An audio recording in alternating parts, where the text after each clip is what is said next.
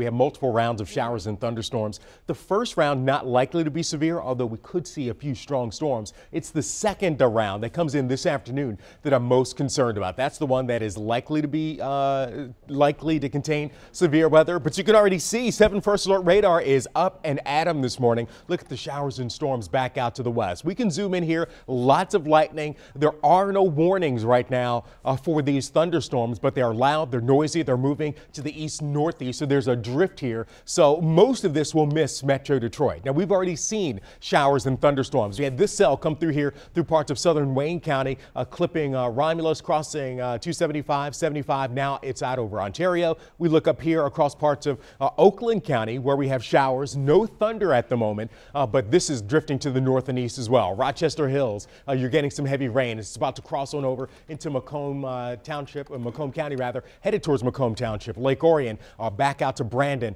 uh, to our north and west. We have these showers. The temperatures 40s and 50s outside. Still a pleasant start to the day for us. We have a warm front that'll come up uh, into the area, send some of us well into the 70s, and then a cold front comes slamming in here, and that's going to give us that chance for showers and storms later in the day. Right now it's an east wind, but the winds will turn southerly for this afternoon. And our futurecast here, as we take you hour by hour throughout the day, bears all of this out. So here's the first round. A lot of the storms headed to the north, the bulk of the misses, but we still have a chance for showers and storms during the latter portion of the morning hours. Then we actually quiet down for a little bit, and then we'll see showers and thunderstorms develop this afternoon from about 2 or 3 o'clock to about 8 o'clock. That's the time period that I'm most concerned about. This is now uh, closing in on 4 o'clock, and you see the showers and storms here developing across Metro Detroit. Some of these storms strong, possibly severe. This is the height of the evening drive. Could be slow and messy with strong thunderstorms working in, and then uh, we get to about 8 o'clock, then the uh, activity begins to die down. Cooler air